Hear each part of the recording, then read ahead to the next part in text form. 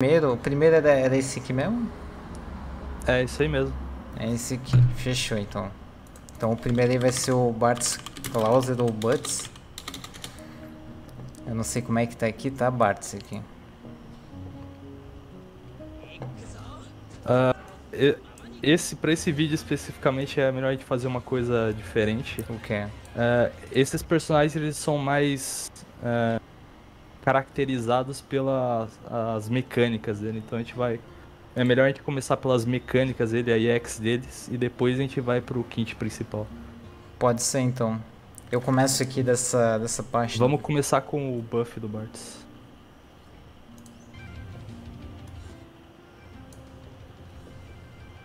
Tá, esse aqui não é o buff, né?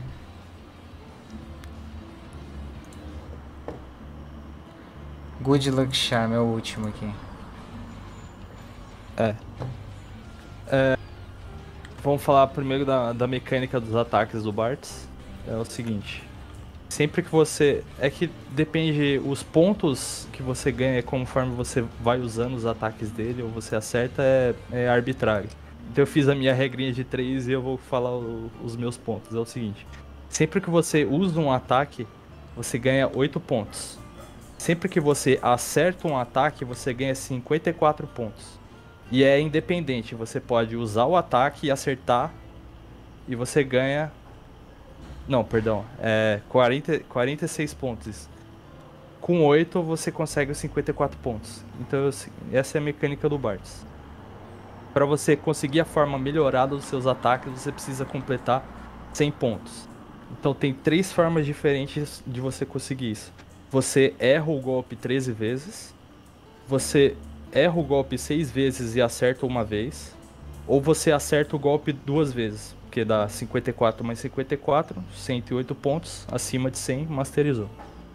E qual é o buff único dele? É um buff que demora para vir, 60 segundos, né? E o que esse buff faz? O primeiro, a primeira, a primeira modificação desse buff é que os pontos que você ganha ao acertar, eles dobram. Então, em vez de 46, você passa a ganhar 92. O que é bastante conveniente, né? Porque você usou o ataque, ganhou 8. Você acertou com o buff, 92, 92 com 8, opa, deu 100. Você, você não consegue masterizar acertando uma só vez. E esse buff é o seguinte, você come, se você masterizar um ataque, você ganha 5% de ataque, 5% de defesa e 2% de velocidade de dash. E conforme o número de ataques que você masterizou aumenta, o, o, o tamanho do ataque, o tamanho do buff de ataque ele aumenta em 10%, o de defesa também aumenta em 10%, e o de velocidade aumenta em uma vez e meia. Em, quer dizer, 1,5%. Então quanto mais você masteriza, mais forte fica esse buff. Mas só que tem um detalhe, esse buff só dura 15 segundos, então apesar dele ser muito forte com muitos golpes masterizados, ele não, não tem um impacto tão grande assim na, na luta. Então você tem que mais se focar mesmo no Dissidia mesmo, no, no básico. Que é conseguir suas estoques ali, ajudar seu time, é, bater no, nos caras certos na hora certa. Agora a gente vai pro kit principal dele. Top. Eu queria falar disso porque o Bartz, ele é um personagem que é muito estranho no sentido que tem, ele tem vários ataques que sem a forma masterizada são muito, muito difíceis de acertar. E outros que são mais fáceis. Então eu já queria falar da prioridade que um jogador de Bart tem que ter na, na partida, no, a mentalidade que, gente, que, ele tem que ter na hora de entrar na partida, né? Quais golpes eu vou usar. E é o seguinte, o Monk é um golpe muito ruim quando não está masterizado. É um golpe rápido, mas só que ele tem um alcance muito pequeno mesmo, muito pequeno mesmo.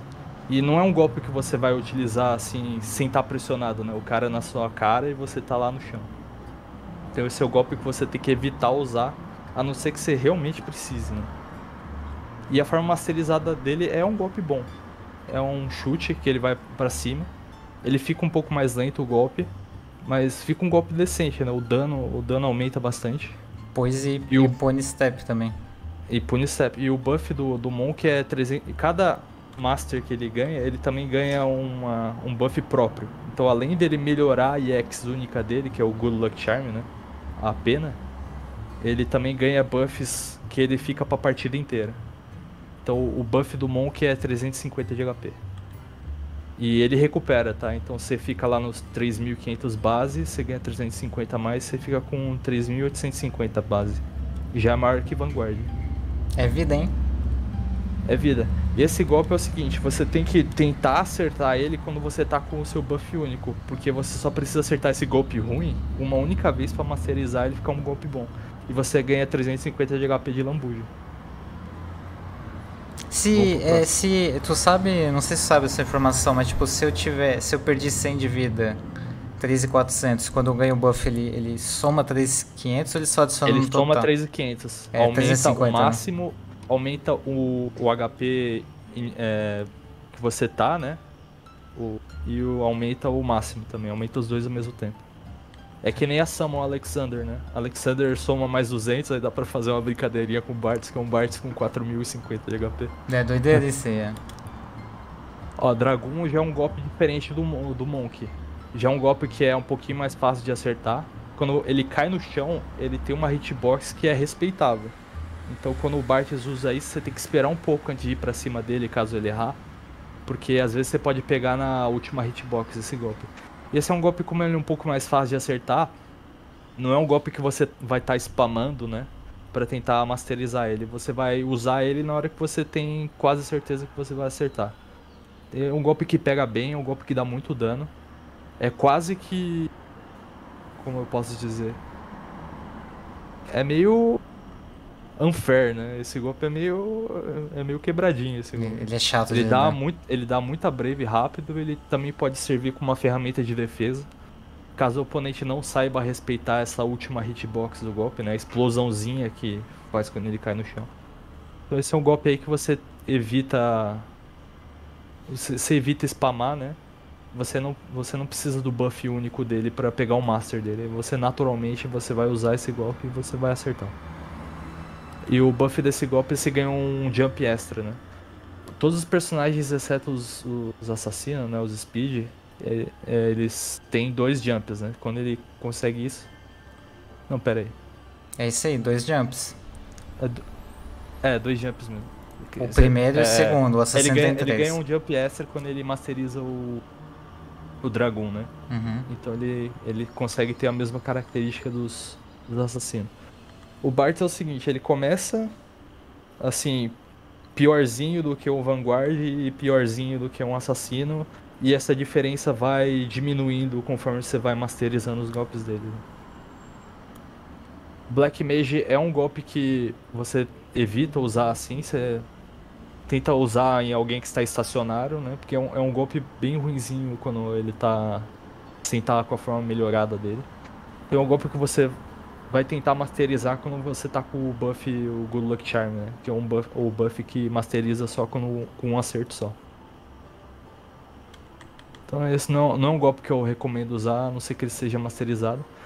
Quando ele tá masterizado, ele vira um setup e o, a hitbox ele aumenta. E além disso, ele tem combo, tá? E dá pra você usar isso na distância certa, você chega perto do adversário e dá pra você meter um samurai ou um dancer nele e vai conseguir um HP garantido ali. Então é um golpe bastante bacana quando ele tá masterizado. Então o efeito dele quando ele quando o Bart se masteriza, né? É que ele ganha um buff de defesa. Então dá pra fazer um stack aí do, do- dos buffs que ele ganha masterizando com o buff do Good Luck Charm, né? O buff único dele. Esse é o golpe principal do Bartz. Esse é a exceção dos golpes que é o como é o principal golpe dele, é um golpe que você vai começar a partida, você já mete seis golpes desse, você tem, você mete no ar mesmo, mete seis desse aí, porque a partir do momento que você acertar um, você masteriza. É um golpe que é muito importante você masterizar porque é o principal golpe de setup, né? Ele é o principal golpe de utilidade. E quando você masteriza, ele, ele não é um golpe muito rápido, tá? Ele é, ele é quase como um neutro de Vanguard. Ele é, o startup dele não é muito rápido, é uns 22 frames. Mas só que ele segue bastante, tanto na vertical. Na horizontal, a hitbox dele é absurdamente longa, né? Você pode perceber aí que a, o corte né, vai quase como 180 graus, acho que até mais que 180 graus. Busca bastante. Esse é um golpe completamente desonesto, na minha opinião. É um golpe muito desonesto mesmo. Porque se você acertar esse golpe e você parar no segundo no corte, né? Você largar esse golpe, você pode dar esse golpe de, no de novo, que é difícil de desviar desse golpe, cara. Você larga esse golpe e usa ele de novo, você pode ficar como um loop infinito no cara. Se o cara tiver colado no chão, né? Esse golpe é absurdo, ele dá um dano muito grande também. E pega, então, às vezes, esse... quem, quem tenta ajudar, pega no splash também junto. É comum, tá? Ele farma uns e... 4k num combo de assim. Sim, sim. Pelo fato dele ter uma, uma hitbox horizontal, sim, cobre bastante ângulo, né? Cobre ba bastante área e bastante ângulo. Ele, ele é safe de usar também. Esse é um golpe completamente desonesto, na minha opinião. E, é aquele golpe que você entra na partida, você já começa a spamar Mystic Knight. Spama umas 6 vezes se o time adversário não vir para cima, você spama mais até masterizar, cara. E... Esse é o golpe que você tem que ter masterizado logo no início da partida. E quando masteriza, ganha 200 na Brave Base? Isso, ganha 200 na Brave Base. Então se acerta um HP, você volta pra 1200 em vez do, do 1000. Esse também é um golpe decente. Ele, ele é um golpe meio lento assim, mas é uma investida. E é um golpe que você não precisa se preocupar em usar o buff único dele para masterizar, porque é um golpe que naturalmente você vai usar para acertar alguém e mandar para longe. Então não é um golpe que você se preocupe em masterizar enquanto você tá com o Good Luck Charm ativo, né? E quando ele tá masterizado, ele é, o último golpe vira um projétil e dá pra dar setup com ele, né? Você dá. Você para no corte, né? O do, depois o Goblin Punch e ele vira um golpe de setup também. É um golpe muito bom quando tá masterizado. Mas assim, não é a prioridade. Você naturalmente você vai dar uma investida em alguém e ele vai aparecer master para você. Você não precisa ficar spamando esse golpe também. A única exceção que é melhor de spamar logo no início é o Mystic Knight, que você quer o mais rápido possível.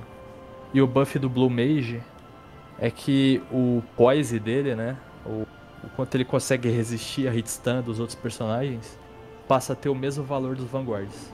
Então aquilo que eu falei antes dele, da distância do Bart para os Vanguards e dos assassinos diminuir com, conforme ele vai masterizando, vai aparecendo aí, né? Ele ganha mais poise quando ele masteriza o Blue Mage. Agora vamos pro Ranger.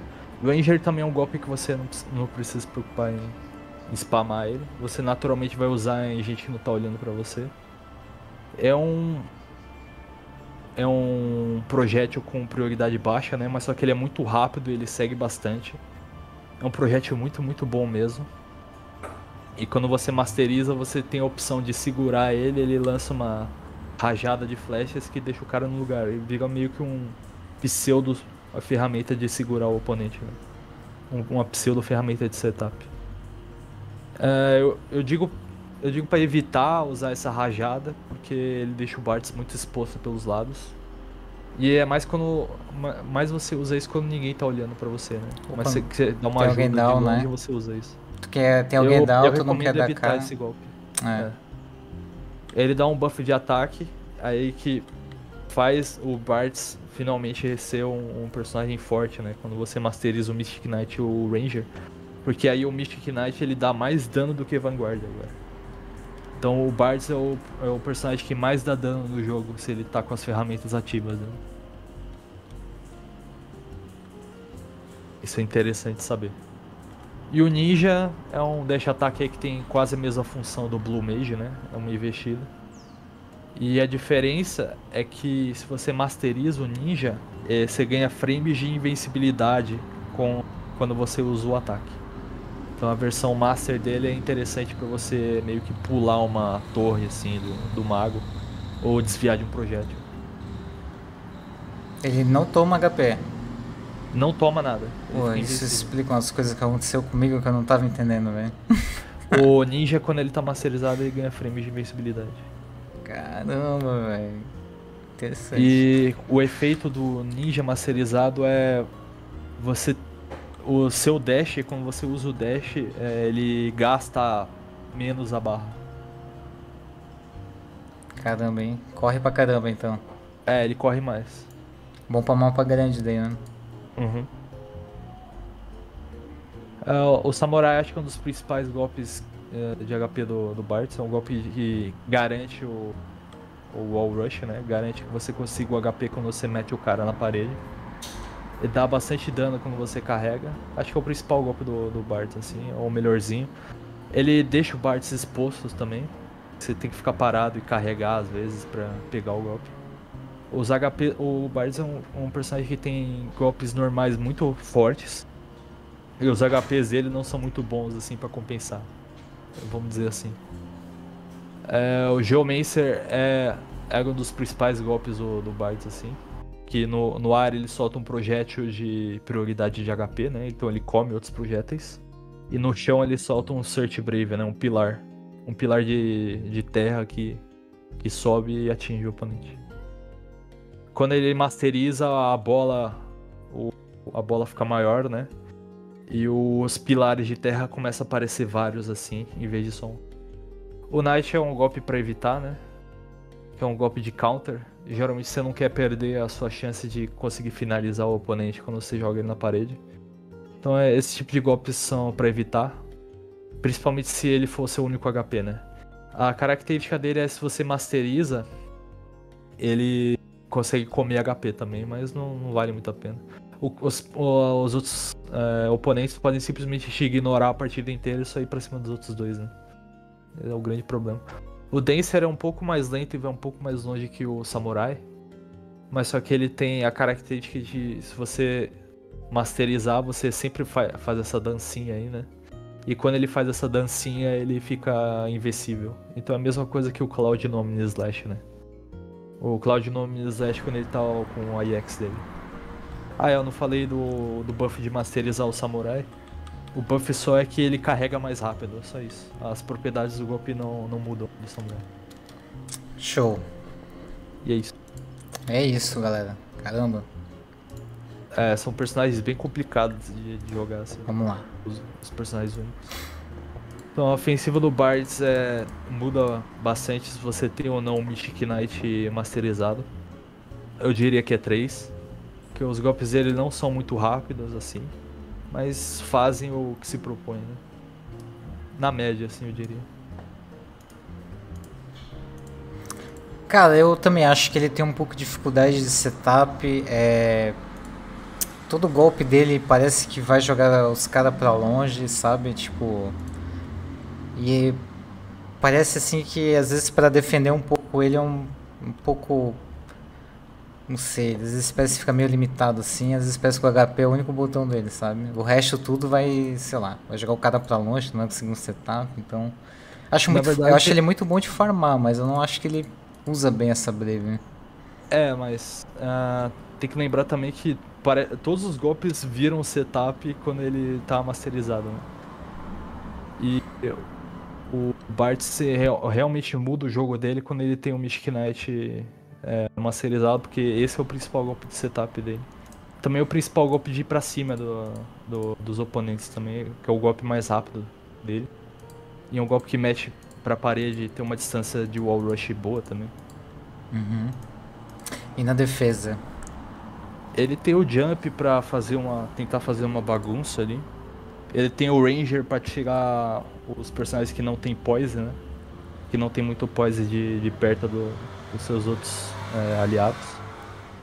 Uh, ele tem o buff de velocidade dele, mas não dura muito tempo, né? O, o buff único dele depende muito se ele tem as coisas masterizadas, masterizadas. Mas não dura muito e demora pra vir também.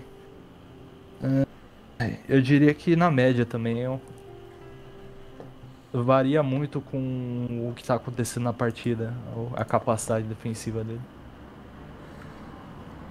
Pois é, não, assim, ele, no ar, tem, eu acho... Ele é um personagem único ainda, ele não tem o interrupt de um Vanguard, né? Ele não consegue mandar para longe qualquer um. Porque geralmente os personagens únicos, eles ocupam o que o Vanguard faria no time, geralmente. Sabe uma coisa que eu acho ruim nele na defesa? É quando, assim, por exemplo, tem aquela briga no ar, aí tu tem que, tipo, tirar um oponente de cima de um aliado teu. Só que sabe quando tu precisa, é, às vezes do vertical, assim, ó, descer, tipo, tá no ar e tu precisa descer batendo. Tipo, dar um Braver, dar um Halfquake do Garland. Parece que os Vanguard eles têm esse, essa, essa mecânica de descer batendo. Eu sinto que o Bartz fica limitado nessa hora, sabe? É, o Bartz é um personagem bastante horizontal no ar. E no chão ele tem o jump, né? É, mas... Então é um personagem que ele precisa ir pra cima e dar Mythic Knight. É, essa é a melhor resposta que ele tem, sabe? Uhum. Também acho. É... Utilidade dele é, eu acho, na média, eu diria que na média, porque Depende, ele né? só eles depende do, do que tá acontecendo na partida e o buff dele não dura muito tempo, né? Apesar de ser absurdo você conseguir qual é o buff máximo dele. 12% de, de velocidade extra, é muito difícil conseguir isso. Ele é bem na média, o core dele é, ele tem o jump, né? Ele tem às vezes o ranger pra fazer o core. Não é A presença quanto de não. mapa dele é boa, que no chão você tem que respeitar o jump. É, na média também. Ele é um personagem que é meio mediano em tudo, sabe? E aprendizado? Ah, Não é o mais difícil, não é difícil, não. mas também não é o mais fácil. É, você só tem que ter em mente que às vezes você quer masterizar os golpes são piorzinhos, né, na versão base. Quando você tem o buff ativo, né? Aí você pensa, pô, vou dar um monk aqui aleatório, vou conseguir master num golpe pra aumentar o meu buff depois que ele vir de novo, sabe? Você tem essas, esses manejos de buff aí. E no começo da partida você sempre tem que lembrar de masterizar o Mystic Knight o mais rápido possível. É, mas se você sabe disso, não, não fica um personagem difícil de jogar, né? E ele é um personagem bom também, quando o cara vem pra cima de ti, tu consegue dar um chega pra lá nele, assim, então ele, apesar de ser um especialista, ele consegue lidar com esse começo de partida aí, se a galera inven- inventar de dar um rush também. Uhum.